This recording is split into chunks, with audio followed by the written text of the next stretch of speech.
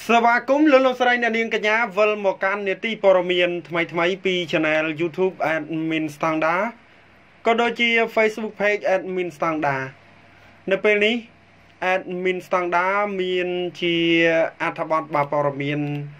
ថ្មីចែកជូនដល់ប្រិយមិត្តសម្ដាប់និងទស្សនាដែលតាក់ទងទៅនឹងម្ចាស់យានយន្តជាង5000គ្រឿងមិនទាន់បង់ពន្ធរូតរះប្រយ័ត្នត្រូវប្រមូលឡានដុតកំទេចចោល សម្ដេចនាយកហ៊ុនសែននាយករដ្ឋមន្ត្រីនៃកម្ពុជាបានចេញមុខបញ្ជាក់ថាអ្នកមិនទាន់បង់ពន្ធប្រមាណជាង5000គ្រឿងត្រូវចេញមុខមកបង់ពន្ធប្រយ័ត្នតែដល់ពេលណាមួយខ្ញុំបញ្ជាឲ្យដុតឡានក្រវ៉ាត់ចោលសម្ដេចនាយកហ៊ុនសែននាយករដ្ឋមន្ត្រី បានថ្លែងក្នុងពិធីបិទសន្និបាតបូកសរុបការងារប្រចាំឆ្នាំ2021ដាក់ទិសដៅការងារឆ្នាំ2022 នារសៀលថ្ងៃទី23ខែកុម្ភៈឆ្នាំ2022នៅសន្តាគារសុខារាជធានីភ្នំពេញសម្ដេចតេជោបានបន្តទៀតថាត្រូវរួមគ្នាធ្វើយុទ្ធនាការប្រមូលពន្ធតាំងពីខ្ញុំចេញបញ្ជាដាច់ខាតខែ6ខែ7ឆ្នាំបាទខាងមុខមិនត្រូវមានឡានអត់ពន្ធនិងចង្កូតស្ដាំរថយន្ត5993គ្រឿង ស្មើប្រមាណជាង51លានដុល្លារសហរដ្ឋអាមេរិកអញ្ចឹងនៅសល់ឡានពាក់កណ្ដាលអត់ទាន់បង់ពន្ធការប៉ាន់ស្មានរបស់ក្រសួងសេដ្ឋកិច្ចនិងហិរញ្ញវត្ថុប៉ាន់ស្មានអត់ខុសទេគឺមានជាង10000គ្រឿងដែលនឹងមានតម្លៃជាង100លានដុល្លារសហរដ្ឋអាមេរិកតាំងពីការចេញប័ណ្ណបញ្ជាដាច់ខាតមិនឲ្យមានឡានអត់ពន្ធ រដ្ឋប្រមូលចំណូលបានជាង51លានដុល្លារហើយនៅក្នុងនោះ នៅប្រមាណពាក់កណ្ដាលទៀតមិនទាន់ប្រមូលអស់សម្ដេចតេជោទទួចឲ្យអង្គការ បាទសំទោសអង្គភាពជួយរកចំណូល និងប្រឆាំងអ្នករត់កិច្ចពន្ធហើយអ្នកដែលមិនទាន់បង់ពន្ធប្រមាណជាជាង5000គ្រឿងទៀតសូមចេញមកបង់ពន្ធប្រយ័ត្នដល់ពេលណាមួយ ខ្ញុំបញ្ជាឲ្យគេដុតឡានចោលមកកុំឲ្យពិបាកពេកទោះឡានថ្លៃប៉ុណ្ណាក៏ដោយសម្ដេចតេជោសូមអំពាវនាវអ្នកមិនទាន់បង់ពន្ធចេញមកបង់ពន្ធហើយអត់មាន10%អីទៀតទេ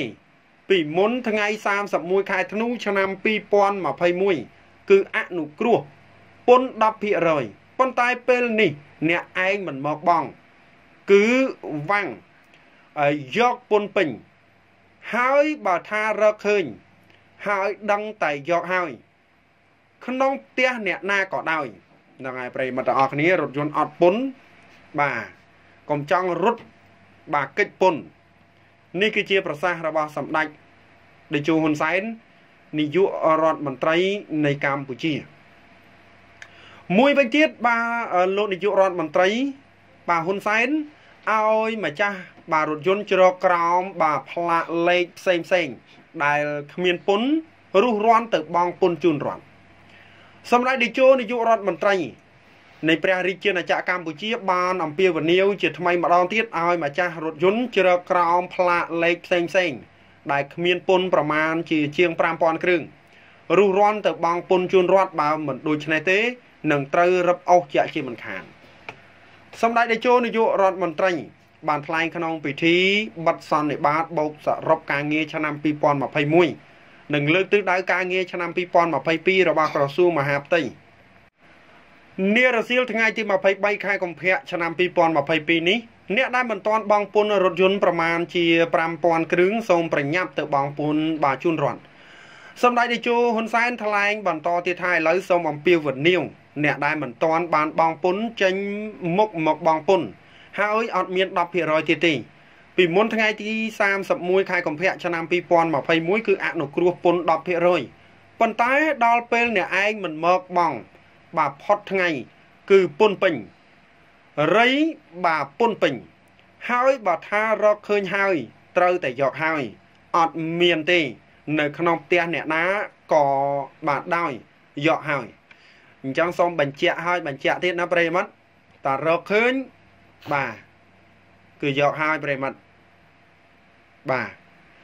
បើសិនជាយើង មានលុយទិញឡានហើយយើងអត់បង់ពន្ធដដែលប្រិមិត្តបាទទិញធ្វើអីបាទជិះឡានអត់ពុនអាហ្នឹងគឺជាការពិតណាបងប្អូន បាទវាជាកតាបកិច្ចមួយដែរតកតងទៅនឹងអត្ថបទព័ត៌មានក៏មានតែបាទប៉ុណ្្នឹងដែរជាចុងក្រោយសូមជម្រាបលា